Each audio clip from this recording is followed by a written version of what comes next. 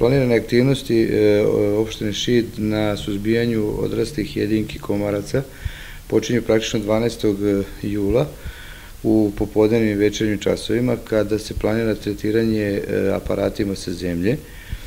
E, tretiranje će biti na teritoriji cele opštine, znači u svim našim mesnim zajednicama. Tretirane će biti zelene površine, javne površine, igrališta, površine oko škola i svih objekata gde postoje tako kažemo, džepovi gde se kobarci ovaj, razvijaju. E, preparat kojim ćemo tretirati odraste jedinke komaraca je e, AOAK otrin na bazi delta pirina koji će biti e, ispuštan iz aparata sa zemlje, vozili pokretu preko Disney.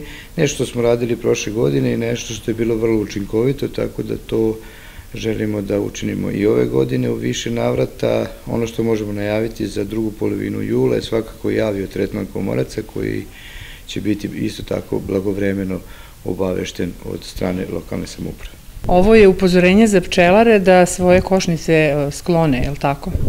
Pa nije potrebno sklanjanje, potrebno je samo da toga dana pčele budu zatvorene u tom nekom periodu da bi izbegli ovaj, sve negativne posledice koje eventualno mogu da nastanu ako bi one bile izložene ovom preparatu. Da li je ovo sredstvo štetno za ljude? Ovo sredstvo nije štetno ni za ljude, ni za odrasle životinje bilo koje vrste, tako da što s toga tiče naši sugrađani mogu da budu mirni i spokojni.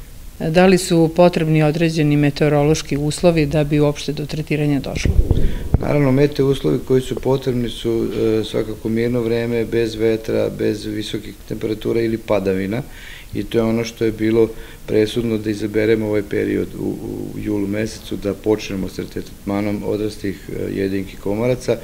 Naravno, nadamo se da će tako vreme i biti u nedelju, što znači da ćemo uspešno tretirati komarce, samim tim i e, sve ono što komarci donose svojim ujedima da će izostati u narednom periodu.